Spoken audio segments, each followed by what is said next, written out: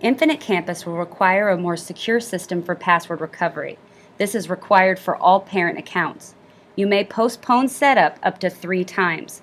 This must be done via a web browser. When you sign into Infinite Campus on any browser, you will be prompted to update with the following message.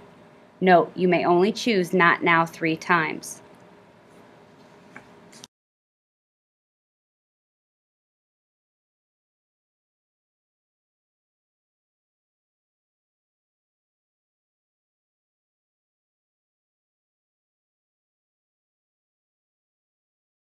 To create your security settings, first, enter an email address for account recovery. Second, select eight images you strongly like and eight images you strongly dislike.